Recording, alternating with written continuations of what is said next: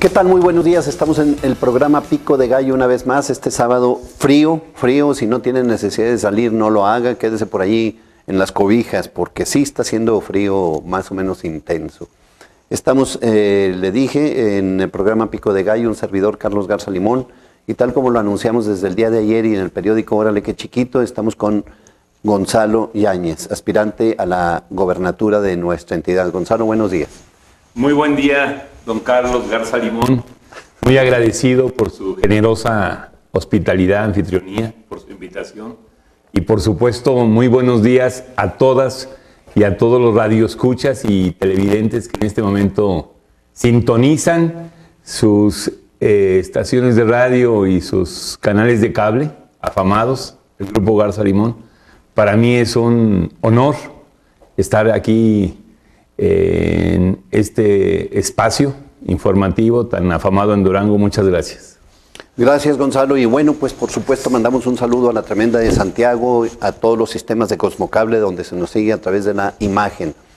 Mucho que platicar con Gonzalo. Gonzalo pues sin duda es un personaje de nuestra entidad, ha formado, forma parte de la historia política de nuestra entidad desde hace aproximadamente unos 25, 30 años, me refiero eh, de manera activa eh, fue presidente municipal, un presidente municipal pues sin duda muy destacado, eh, senador, diputado federal, diputado local, y ha estado, ha estado inmerso en el desarrollo político, económico de nuestra entidad. Le repito, un personaje que tiene mucho que decir, tiene mucho que compartirnos. Gonzalo, ¿quién es Gonzalo? Un luchador popular, un luchador social. Toda mi vida la he entregado la he comprometido a servir a los más humildes, a los carecientes, a la gente pobre, a la gente de nuestro amado pueblo duranguense. Y a mí eso me ha generado una enorme satisfacción. Luchar siempre desafiando dificultades, adversidades, y en esa travesía, en esa trayectoria, servir de todo corazón a nuestro pueblo y hasta ahora nosotros nos eh, mantenemos completamente vigentes en esta gesta, en esta causa. Gonzalo, se han contado muchas historias, eh, anécdotas suyas desde que es eh, cubano, nicaragüense o que viene de quién sabe dónde.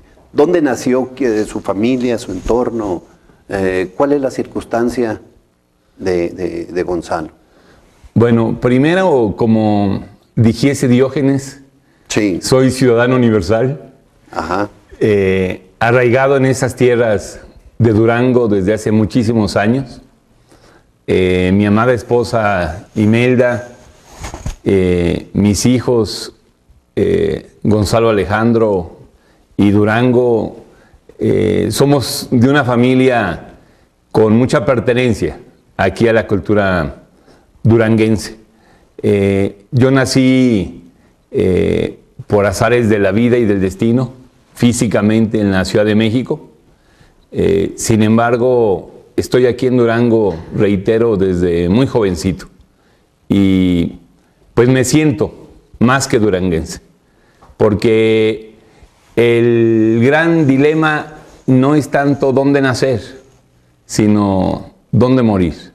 Es decir, el lugar que eliges conscientemente para desarrollar tu proyecto de vida, para llevar a cabo tus sueños, tus luchas, tu labor. En este caso, pues soy más que 100% duranguense. Eh, Pancho Villa, duranguense, y dijo que le gustaría morir en Parral.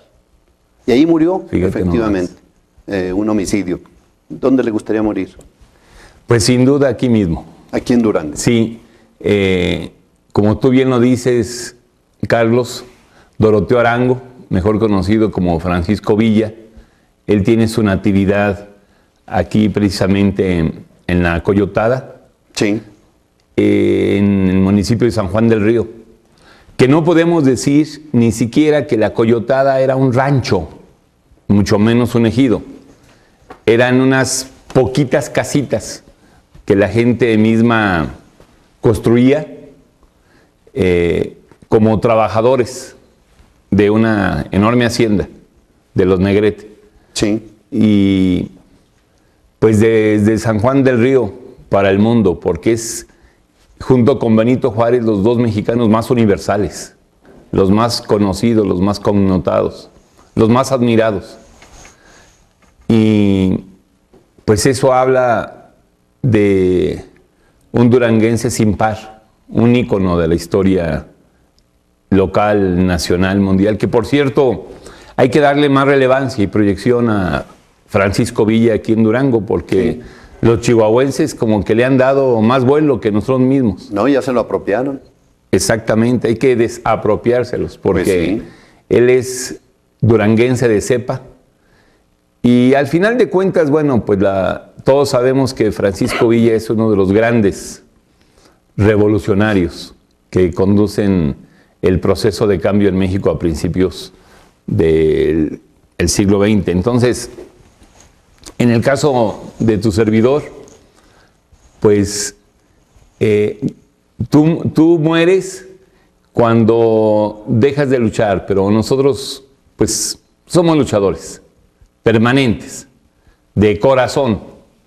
Y tenemos todavía mucho trecho por delante, mucho tiempo para entregarles a los duranguenses labor productiva, gestoría, administración pública que genere prosperidad en nuestro amado Durango.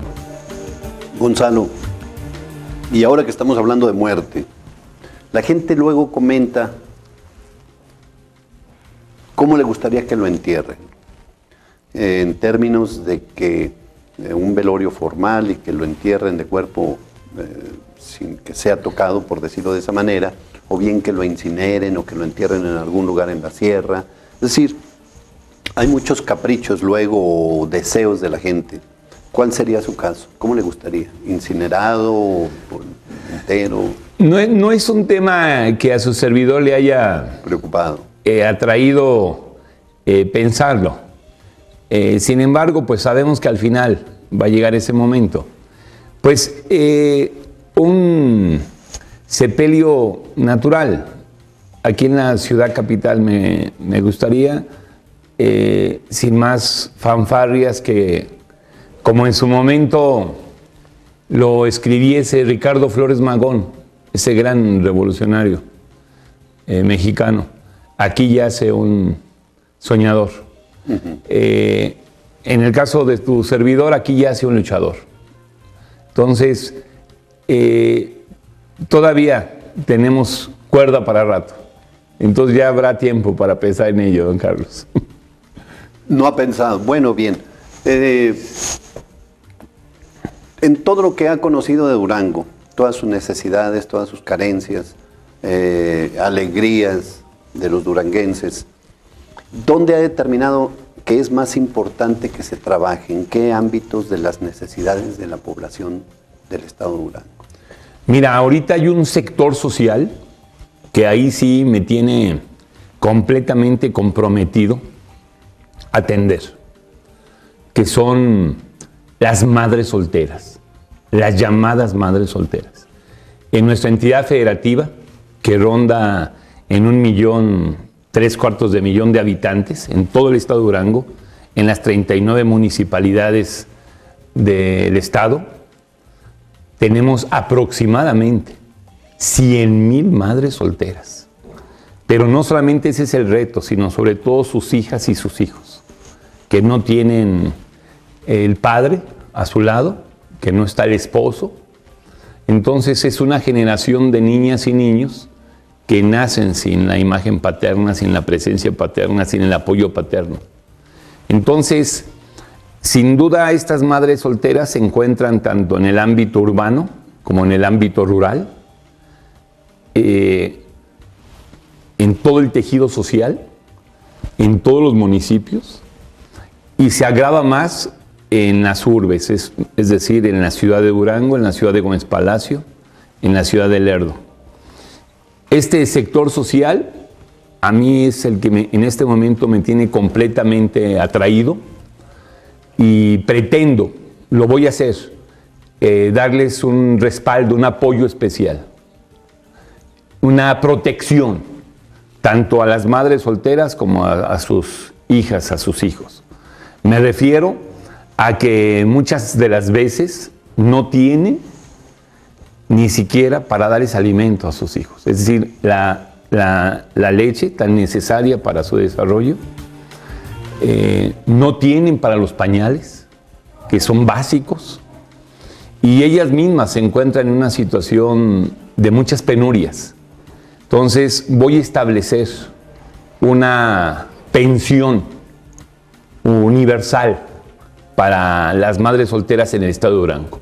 Un apoyo económico directo cada mes para las madres solteras.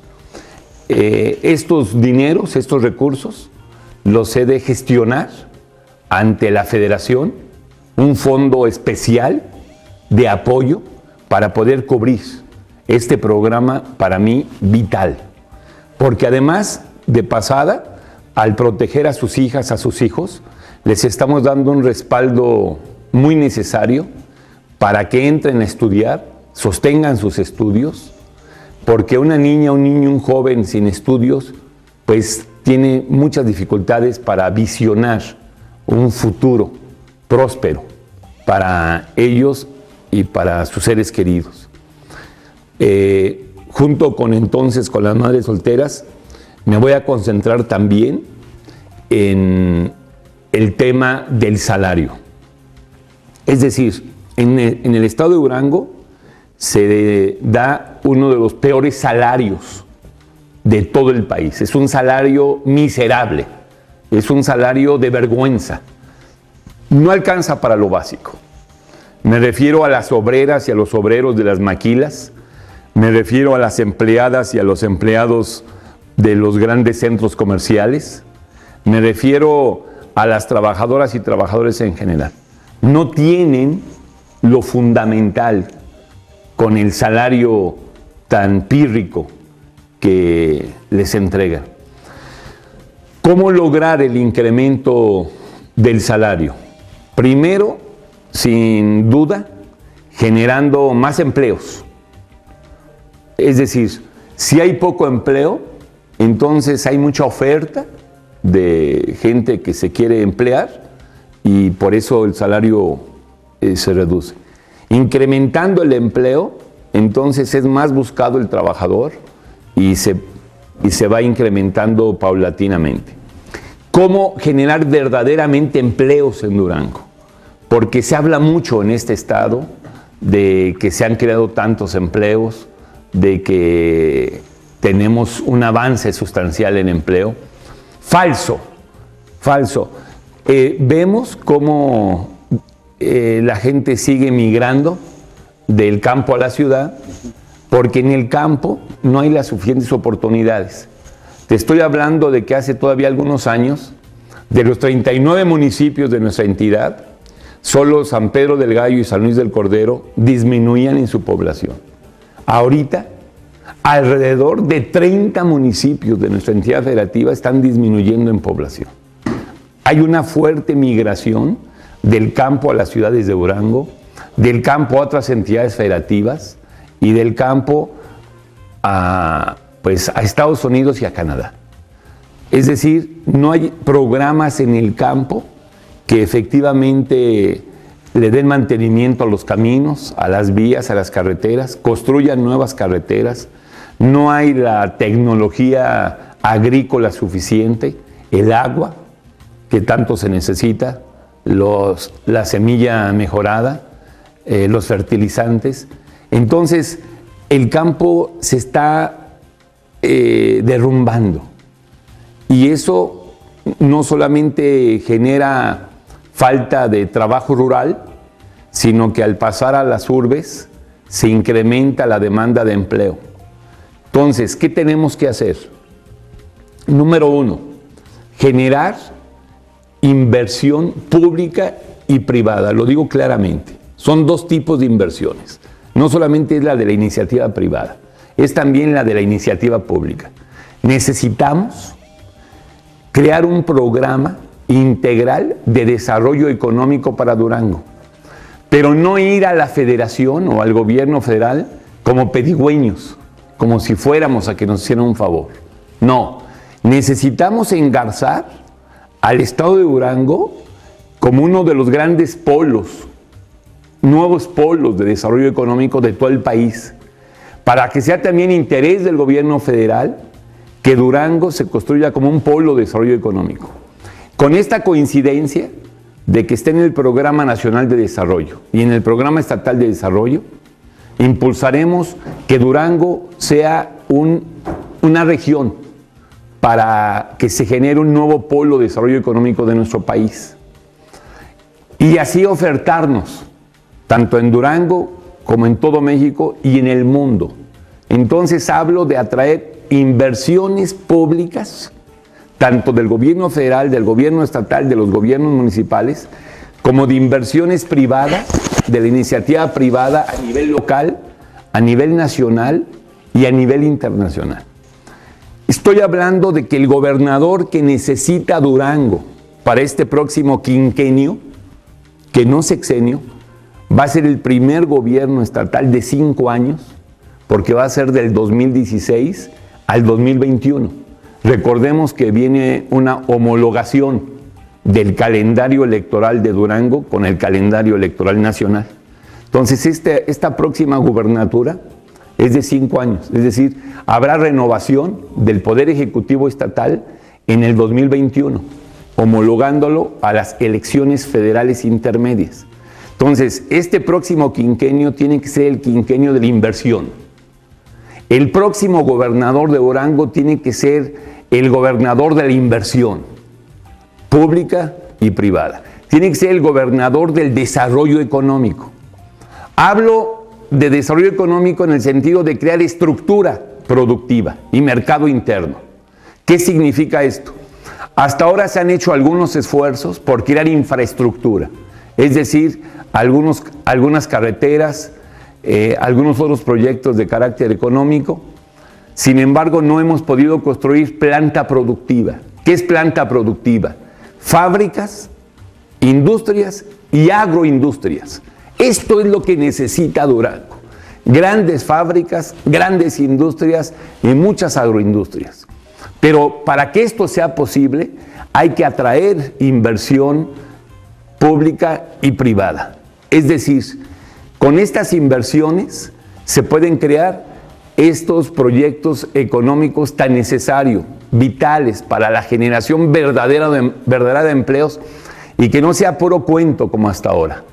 Es decir, creando masivamente empleos, tanto para los trabajadores como para las trabajadoras de mano de obra básica, como para los técnicos, como para los egresados de las instituciones educativas que son tan necesarias, requerimos estas inversiones. Ahora bien, ¿cómo lograr efectivamente inversiones en Durango en la medida en que en todo el mundo en todo el mundo la principal disputa es la atracción de inversiones. Ese es ahorita el gran debate mundial y nacional, es la gran lucha. Todo el mundo quiere atraer inversiones a sus lugares. Bueno, necesitamos ser competitivos en esta lucha por atraer inversiones. ¿Y esto qué significa? Que lo que le tenemos que ofrecer a los inversores tiene que ser superior a lo que les ofrecen en otros sitios. Estoy hablando de ofrecer tierra, la que se necesite, tanto urbana como rural, para que se instalen las fábricas, para que se instalen las las agroindustrias. Estoy hablando de ofrecer los servicios fundamentales de agua, de alcantarillado, de energía eléctrica, de gas. Estoy hablando de ofrecer los caminos, las vialidades, las carreteras que sean necesarias. Estoy hablando de ofrecer no solo facilidades fiscales, sino eh, el, no fisco. me voy a explicar, porque esto es fundamental. Todo lo que sean impuestos municipales e impuestos estatales, no cobrárselos a las nuevas empresas y hacer acuerdos con el gobierno federal para que los impuestos de carácter federal también sean al mínimo. Esto será un paquete de oferta, un ofrecimiento a los inversores para que sí elijan Durango para instalarse. Estoy diciendo de que esto es para fábricas, para industrias y para agroindustrias. No estoy diciendo que esto sería para nuevos centros comerciales. Es decir, cuando menos en la capital del estado, aunque también se nota en el conjunto del territorio de nuestra entidad federativa, hay una planta comercial muy ancha, muy amplia, incluso en crecimiento. O sea, hay muchos centros comerciales, pero no hay centros industriales. Este es el gran problema de Durango. Tenemos una sobreoferta de mercancías en grandes centros comerciales, pero tenemos una subdemanda, un subconsumo, porque la gente no tiene dinero para comprar. La gente sí quiere comprar lo que le ofrecen en todos los centros comerciales y en todos los comercios, pero no tiene dinero o no tiene suficiente dinero. Es más, ahorita la gente en Durango está lo que se llama endeudada, endrogada. No hay duranguense que no tenga deudas por los llamados créditos blandos. Pues sí, pero esos créditos que en el presente generan satisfacción, en el futuro generan zozobra eh, y eh, mucha desesperación al no poder cubrir. Entonces, ese es el grave, gravísimo problema que tenemos en Durango. La gente no tiene dinero, no tiene suficiente dinero. En Durango tenemos un pueblo sin dinero. Necesitamos empoderar económicamente a la gente, empoderar dinerariamente a la gente, que fluya, que circule el dinero, porque hasta ahorita la economía de Durango podemos decir que es una economía de quincena. O sea, solamente se ve dinero en la quincena cuando se paga o el fin de semana. Pero al otro día del sábado, a los dos días, al otro día de la quincena, a los dos, tres días, otra vez sin dinero. Entonces, es una economía de quincena, es una economía burocrática, la duranguense.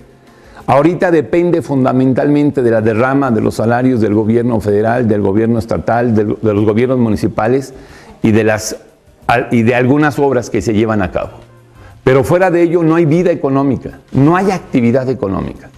Entonces es clave que atraigamos industrias, agroindustrias y fábricas. Entonces esta propuesta que yo hago para facilitar las inversiones va dirigida solamente aquellos proyectos económicos productivos, no para los proyectos comerciales, no para los grandes centros comerciales, porque esos ya están instalados, ¿verdad? Esos no necesitan estímulos adicionales. Que quede claro, estoy hablando que este paquete, este programa de oferta para la atracción de inversiones sería solo para proyectos productivos, para fábricas, para industrias y para agroindustrias en toda nuestra entidad federativa. Yo estoy seguro que esta propuesta es posible, es viable, haciendo una gran alianza con el gobierno federal, haciendo una gran alianza con los empresarios, porque yo me declaro fervientemente defensor de los pobres, defensor de los humildes, defensor de las obreras, de los obreros, de las trabajadoras, de los trabajadores, de la gente del campo, defensor de las maestras, de los maestros, defensor de los operadores del transporte público, defensor de, las madres solteras y también lo tengo que decir claramente, aliado, aliado de los empresarios, de los microempresarios, de los pequeños empresarios, de los medianos empresarios, de los grandes empresarios, porque solamente con este tejido de alianzas y de defensas podremos construir un, nuevo Durango, que es lo que yo quiero impulsar.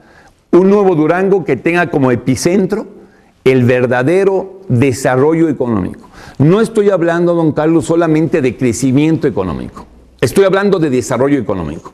Porque no se trata solamente de que haya más empresas en Durango, sino de que haya bienestar para la gente.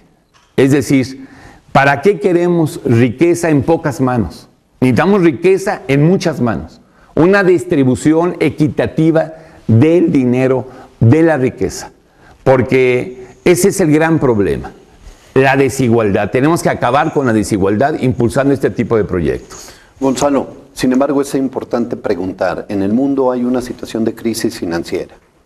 Eh, Europa está en una situación de crisis, el Fondo Monetario Internacional en el mundo ha estado golpeando las economías de una manera muy severa, llevándolos a la miseria a muchos países. Ejemplo, España, donde el Producto Interno Bruto ya está casi igual que la deuda externa. Esto implica cero desarrollo para España. Grecia es otro ejemplo, Grecia. Eh, Francia, o sea, la mayoría de los países europeos y varios países latinoamericanos. México estamos en esa ruta. Las eh, reformas que se hicieron, las grandes reformas que se han estado hablando durante esta administración federal, eh, ya se ha dado a conocer pormenorizadamente de que han sido dictadas por el Fondo Monetario Internacional para poder facilitar préstamos. Esto implica que nos acarrea, nos lleva a México de manera general. Eh, estamos en, una, en el camino de la crisis, según la experiencia que se ha visto en todos los países. Ante esta situación, que supongo que la comparte o me gustaría escuchar su punto de vista, a Durango, pues difícilmente le podría ir bien de llegarse a consolidar todo el proyecto del Fondo Monetario Internacional, que lo tiene ya establecido desde hace varios años. Toda crisis, don Carlos, es una oportunidad. Usted tiene razón. La economía española, la economía griega eh, han sido célebres en estos últimos tiempos por expresar las mayores dificultades económicas. Y en días más recientes estamos hablando de la llamada crisis del yuan, de la moneda china, que puso a temblar a China y al mundo. Sí.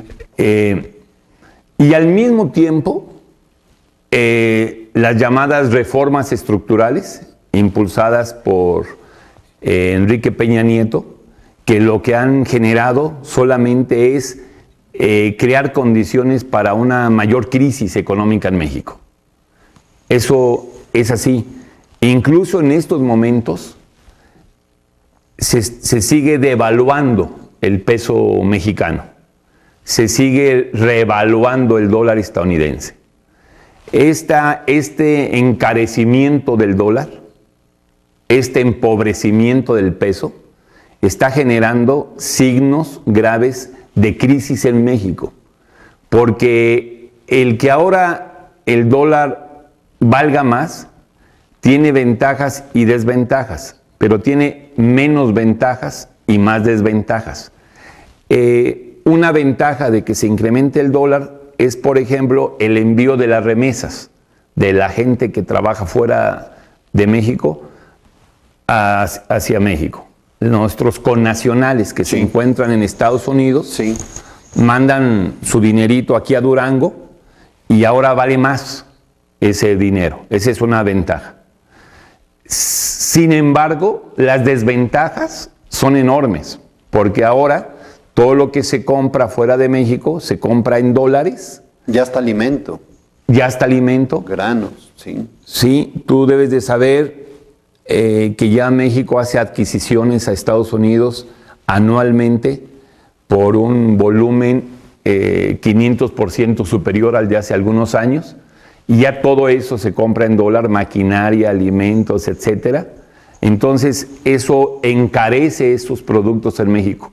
Es más, en estos momentos ya se siente en México, pero particularmente en Durango, una nueva inflación, una nueva carestía de la vida es como una inflación silenciosa, es como una inflación soterrada, es como una inflación subterránea, que casi nadie habla de ella. Sin embargo, tú vas a cualquier centro comercial en este momento y ya te encuentras con que son más caras las mercancías. Ya la gente compra cada semana lo que adquiría la semana anterior y ya es más caro. Entonces estamos viviendo una carestía de la vida en este momento grave. Dentro de estas dificultades, yo digo que la única salida estructural es crear producción. Porque si tú te haces de una economía dependiente, eres volátil. Necesitas generar una economía autosuficiente. Yo sostengo que hay que recuperar la gran bandera que enarbolaron los duranguenses en aquel movimiento del Cerro de Mercado en 1966. Precisamente este 2016 se cumplen 50 años de esa gran lucha, de esa gran gesta. Estamos hablando de que esa lucha, entre otros objetivos, tenía eh, entre sus metas la industrialización de Durango, aprovechando todo el mineral del cerro de mercado, eh, instalando una gran fundidora que detonara la industrialización de Durango, como más o menos se hizo en Monterrey, Nuevo León. Fue frustrada esa lucha, sin embargo esos objetivos, esas metas son vigentes, que es la lucha por la industrialización. En el caso de Durango tenemos mucho territorio. Somos el cuarto territorio más grande de todo el país.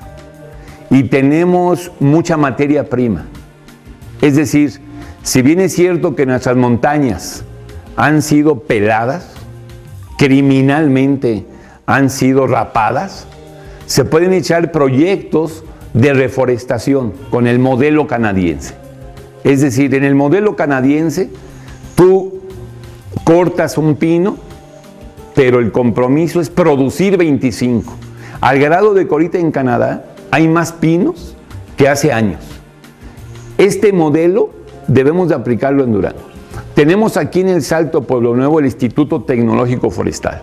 Necesitamos un relanzamiento de ese Instituto Tecnológico Forestal para que haga punta, sea punta de lanza para la reforestación de toda la Sierra Madre Occidental y todas las montañas duranguenses. Tenemos que recuperar el proyecto eh, forestal de tal manera que vuelva a haber movilidad en México. Recuerda que teníamos aquí en Santiago Papasquiaro Proformex, productos forestales mexicanos, y se notaba vida económica en Santiago Papasquiaro y sus alrededores, pero raparon la sierra y no hubo un programa integral de ir cortando un pino y ir produciendo 25 o 20 o 10. Necesitamos recuperar ese programa, ese proyecto para reforestar toda, toda esa zona. También en el estado de Durango somos muy ricos en minerales. Tenemos mucho oro, tenemos muchos metales preciosos. Sin embargo, no hay realmente un programa que nos coloque a la vanguardia de la minería nacional e internacional. Imagínate, no tenemos, eh, digámoslo así, una escuela de minería que forme los suficientes cuadros, que se hagan las, las investigaciones, ya sea en la Universidad Juárez del Estado de Durango o ya sea en el Instituto Tecnológico de Durango o en los demás institutos tecnológicos regionales, que nos coloque a la vanguardia en la formación de cuadros para la industria minera, para las investigaciones e, e, impulso de la industria minera, que es de una gran riqueza. Y así en toda la entidad federativa tenemos oportunidades, pero no hay inversión, don Carlos, para echar adelante estas iniciativas. Bien, Gonzalo, vamos a, una señal de identificación y regresamos en un momento. Continuamos en Pico de Gallo. Les recuerdo, estamos con Gonzalo Yáñez, aspirante a la, a la gobernatura de nuestra entidad por parte por el Partido del Trabajo. Gonzalo, la historia de Gonzalo Yáñez en esta entidad va obviamente ligada a Marcos Cruz, eh, Juan Cruz, Primitivo, eh, Gustavo Pedro. ¿Y qué fue lo que pasó que generó la gran fractura entre ustedes, conocidos como los cinco magníficos incluso? Es un desarrollo natural de los grupos directivos. Es decir, al interior se crean visiones diferenciadas de acuerdo a la experiencia empírica de cada quien, de la misma colectividad. Y yo digo que son parte de la historia, son momentos históricos, eh, pero lo más relevante pues no son, digámoslo, las personas, sino en este caso el Partido del Trabajo, o sea, como institución partidista, que es vigente, actuante, y que se relanza hacia el futuro el Partido del Trabajo como el partido arraigado a la sociedad, al pueblo, a la gente. Entonces, eh, son momentos ya superados que no detienen el avance de nuestro paradigma partidista y estamos ahorita luchando a tambor batiente. Sin embargo, bueno, usted comenta de que ha sido un proceso de desarrollo, de consolidación del partido, eh, pero en términos de puestos de elección popular, de eh, aceptación ciudadana, ¿ha mejorado? Es un desarrollo desigual y combinado. Hay, momentos de altas y hay momentos de bajas. Ah, eh, recientemente pasamos por una fase en la que inclusive estaba en litigio la, el registro o no del Partido del Trabajo. Así es. Salimos avantes, salimos triunfantes, con ánimos renovados, con nuevos bríos, y ahora vamos completamente a la alza. Así se, se siente, se percibe en el estado anímico de la ciudadanía. ¿Hubo compromisos con el Estado? Es con Peña Nieto. Es una lucha que se dio de manera genuina, sana, saludable. Inclusive llegaron a enterrarnos siete veces. Nos declararon muertos, eh, que yo recuerdo, siete ocasiones. Y pues resulta que estamos más vivos que nunca. Eh, somos un proyecto acostumbrado a la lucha, a enfrentar adversidades, a salir adelante con la perseverancia que nos caracteriza y ahorita somos un, proyecto totalmente libre, autónomo, independiente. En política tú tienes que hacer eh, confrontaciones y acuerdos, acuerdos y confrontaciones, eh, pero lo relevante es que siempre te mantengas en la línea recta, junto al pueblo, del lado del pueblo, porque nosotros somos el partido del pueblo el partido de la gente, el partido de la sociedad.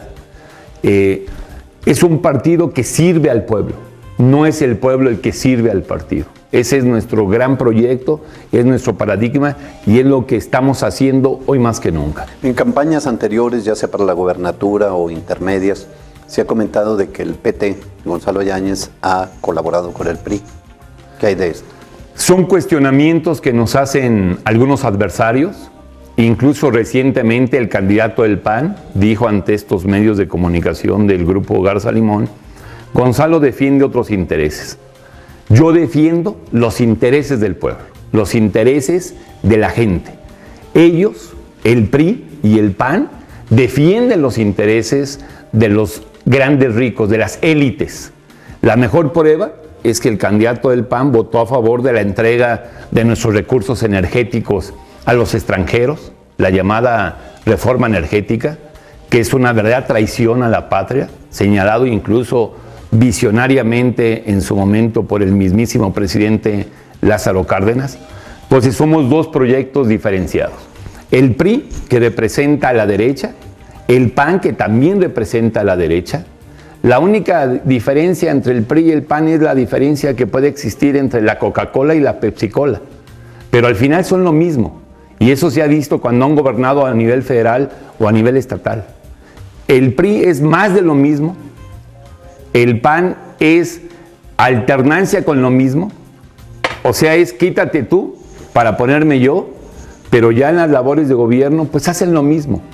Y nosotros somos la izquierda. A mí me toca representar y encabezar un proyecto genuinamente popular, progresista, democrático, humanista y claramente de izquierda. en la elección que hay en Durango es la competencia entre las dos derechas, el PRI y el PAN por un lado, y la izquierda, que somos el Partido del Trabajo por otro lado. En ese sentido, yo represento la alternancia y la alternativa, porque dice la gente, necesitamos un cambio, incluso ya me lo dice, necesitamos un cambio radical, y la gente tiene razón, un cambio de verdad, o sea, un cambio estructural. No es el cambio de personas o el cambio de partidos, sino es realmente el cambio de políticas públicas, el cambio en donde el gobierno lleva a cabo políticas totalmente distintas a las anteriores. Por eso yo digo que mi gobierno va a ser el cambio, sobre todo en el desarrollo económico y en el bienestar de la gente. Gonzalo, se comenta mucho de que eh, durante procesos de desarrollo de las campañas que ha llevado a cabo, eh, llega un momento en que abandonan las campañas. ¿Qué hay de eso? Son comentarios también que hacen adversarios con el propósito de tratar de desacreditarnos. Sin embargo, nosotros cada que hemos enfrentado una contienda electoral, la hemos dado de cara al pueblo, sin duda hemos salido adelante, pero hay irregularidades fraudulentas, es decir, hacen chanchullos y trinquetes electorales, sobre todo los del PRI. En, esta ocasión yo siento un pueblo duranguense lo suficientemente maduro y que está muy interesado en este proceso comicial, electoral, y estoy seguro que como bola de nieve y como avalancha vamos a tener la votación suficiente no solo para ganar, sino para sortear el fraude, para sortear las irregularidades fraudulentas. Electoralmente, en las campañas que ha participado Gonzalo, ¿ha ido a la baja en cuanto al número de votos que se obtienen? Mira, cada elección es distinta a la otra. Yo siempre he tenido un gran respaldo social, un gran respaldo popular. En esta ocasión, eh, yo tengo la impresión, porque hemos hecho mediciones, hemos hecho encuestas, que la gente ya no quiere más de lo mismo. Definitivamente, ya la gente está cansada, harta de más de lo mismo. Harta del PRI, incluso también ya harta del PAN, porque no representan, no garantizan un verdadero cambio. Entonces, en este momento, ¿qué es lo relevante? Sin duda que estamos al alza. ¿Su relación con Marcos Cruz? Ahorita no tenemos comunicación, así estamos bien, cada uno por su lado yo eh, junto al lado del pueblo y junto al Partido del Trabajo. Yo recuerdo en muchas ocasiones de que usted llegó a comentar, eh, sentir admiración, respeto, le llegó a llamar maestro a Marcos Cruz. Independientemente de que no hay un diálogo, ¿sigue habiendo admiración, afecto o ya no? En su momento, sin duda, que era nuestro principal dirigente, pero son tiempos pasados. Ahorita estamos viviendo tiempos totalmente distintos y mis tiempos son el presente y el futuro. Eh, yo voy hacia un proyecto eh, direccionado al futuro y en eso estoy concentrado. ¿Qué es lo que ha hecho Gonzalo Yáñez de mayor importancia para Durango en los puestos que ha desempeñado? Tengo tres momentos para mí especiales. El primero, sin duda, como presidente municipal de la capital de Durango, que me tocó encabezar el proyecto de pavimentación de concreto hidráulico, eh, también el proyecto de obra hidráulica, me refiero a redes de agua potable y alcantarillado, una metamorfosis que sufrió, positivamente la capital de Durango cuando yo fui presidente municipal.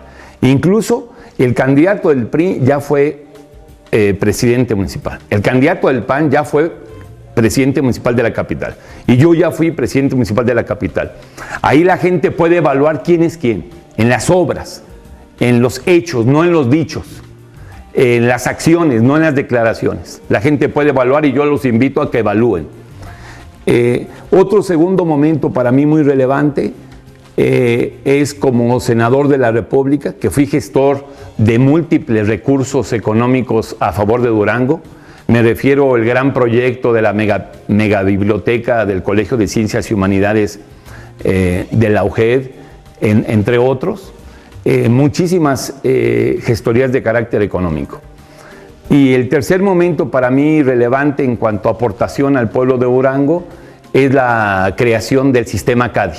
En este momento tenemos 20 escuelas CADI, atendemos 7 mil niños y jóvenes con educación de vanguardia, con la mejor educación que se imparte en Durango. Eh, los tenemos aquí en la ciudad capital de Durango, lo tenemos en Canatlán, en Guadalupe Victoria, en Gómez Palacio, en Vicente Guerrero y en Nombre de Dios. Y mi propósito es crear más y más escuelas CADI porque la gente así lo solicita, así lo demanda. Yo digo que esos son tres momentos de la obra de impulsora, eh, por la, obra impulsada por Gonzalo Yáñez, y que eso a mí me da autoridad moral y cartas de presentación suficientes para decirle a la gente que soy ahorita la mejor opción para ser el próximo gobernador de nuestro amado Durán. Gonzalo, eh, su sabemos de, tenemos conocimiento obviamente de su pasión por la lectura. Tres libros que le hayan cambiado su vida. He tenido la oportunidad de leer una cantidad significativa de obras, pero digamos que, eh, bueno, sí bastantitos, ¿eh? Sí. Sí, estoy hablando pues no solo de cientos, sino de varios miles. Eh, pero las obras que a mí más me han marcado, sin duda fue cuando yo estaba jovencito, tenía 16 años de edad, una obra de Ernesto El Che Guevara, Pasajes de la Guerra Revolucionaria, el primer libro incluso que logré terminar. Eh, una segunda obra que me marcó sin duda fue Trabajo asalariado y capital de Carlos Marx y en su momento en la Facultad de Economía donde estudié en la Universidad Nacional Autónoma de México el primer tomo del Capital, que son obras decisivas. Y, bueno, como lectura, digámoslo, pues no solamente lúdica, sino también cognitiva, eh, Cien años de soledad de Gabriel García Márquez, que es una invitación a la imaginación, al realismo mágico, a la magia latinoamericana que nos marca a todos, a todas los que accesan, accedemos a, él. Esas tres obras a mí sí me han dejado eh, una huella perenne. Eh, y claro, más recientemente que he estudiado dos obras del doctor Michucaco, La mente del futuro, y la física del futuro, donde se visionan, como lo hizo en su momento Julio Verne, lo que van a ser las nuevas tecnologías en el mundo, en México, como ya lo estamos viendo y viviendo, estamos en la etapa de la revolución tecnológica. Duranguenses tres que admire en la historia de Durango. No, pues el primero y que me ha marcado muy, muy significativamente sin duda José Revueltas, eh, que lleva como nombre completo José Maximiliano Revueltas Sánchez, hermano de Silvestre Revueltas, el gran músico, de Rosaura Revueltas, la gran actriz, y de Fermín Revueltas, el gran pintor que falleció lamentablemente muy jovencito, pero que Diego Rivera y David Alfaro Siqueiros decían que iba a ser el mayor y mejor muralista eh, en México. Los revueltas, como sabemos, eh, tienen su natividad en el municipio de Santiago Papasquiaro, ¿verdad? Su padre, don José, su, mamá romana. Sobre el, sitio de nacimiento de José Revueltas hay polémica. Algunos dicen que nació en Santiago Papasquiaro, otros que nació de Durango. La verdad es que el primer José Revueltas nace en Santiago Papasquiaro, pero muere muy pequeñitito y ya se traslada la familia a la capital de Durango y ya en la capital eh, nace otra criatura y le ponen el mismo nombre. Los José Revueltas, sin duda Francisco Villa, por supuesto, para, ya he hablado de él, y el tercero, pues eh, Francisco Zarco. Son tres duranguenses ilustres para mí que los tengo bien internalizados. ¿Algo más que le gustaría agregar? Manifestarle a todas y a todos los duranguenses que Gonzalo en este momento encabeza la verdadera opción de, cambio. Eh, estoy haciendo, estamos en la etapa de la precandidatura, estamos en la precampaña, vendrá una fase que se le llama de intercampaña, que es eh, febrero o marzo, y ya propiamente la campaña, que es eh, abril y mayo. Ahorita estamos concentrados en la construcción de nuestras 39 planillas que han de competir por los 39 ayuntamientos y las 15 fórmulas distritales y vamos a hacer una gran e intensa campaña en todo nuestro territorio estatal para estar con ustedes y para, y para eh, hacer nuestra labor de proselitismo y estoy seguro para terminar de ganarnos su absoluta confianza. Los invito, luchemos juntos por un nuevo Durango. Bien, Gonzalo, eh, se comunica la ciudadanía a través de nuestro WhatsApp al servicio de la misma y eh, felicitaciones, varias felicitaciones de algunos municipios, pero eh, vienen dos comentarios importantes, una, una, solicitud de la señora Virginia Torres para pedir a Gonzalo una férula para su hija Guadalupe Torres. tiene ella 11 años de edad y deja su teléfono. ¿Sí nos dejó su teléfono? Sí, Yo te suplicaría Don Carlos, que en este momento me den el número telefónico de la señora. Terminando el programa, yo me comunico con ella y desde ahorita le digo que es positiva la respuesta. Yo me encargo de suministrarle la férula que tanto necesita. Para su hija. Y viene un, un, comentario polémico, dice, buenos días Gonzalo, no está bien informado sobre la operación de Proformex en Santiago Pasquiaro. No rapó el bosque, fracasó por incumplimiento de los dueños del bosque y mala administración no es necesario comer, eh, perdón, copiar el modelo de reforestación de Canadá. Tenemos condiciones ambientales distintas. Lo que realmente hace falta es aplicar la normatividad existente. Solo eso. El gobierno está tan corrompido que busca soluciones en otros lados teniéndola en casa. Bueno, eh, todos sabemos que ha sido rapado las montañas duranguenses y también tiene razón la persona eh, una gran corrupción en Proformex, una gran corrupción en la administración pública.